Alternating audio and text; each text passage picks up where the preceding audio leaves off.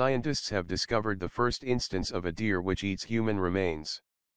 The animal was caught mid-feast by a motion-sensitive camera at the Forensic Anthropology Research Facility at Texas State University, a 26-acre area where forensic scientists study how human bodies decompose in the wild.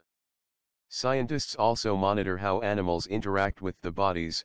Bee scientists catch two animals from different species having sex. Deer are mostly herbivores, although they have been known to scavenge small mammals or birds and occasionally eat other meats.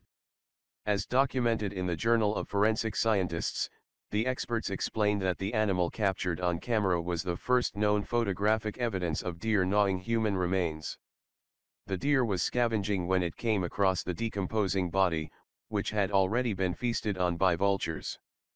Experts watched as the animal held the bone in its mouth like a cigar, on two occasions, in January 2015.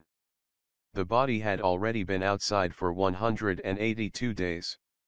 Experts estimated the deer was chewing dry bone rather than eating soft tissue. Deer gnaw on bone of other, non-human, animals to possibly to obtain minerals absent in their diet including phosphorus, calcium and sodium during the winter months.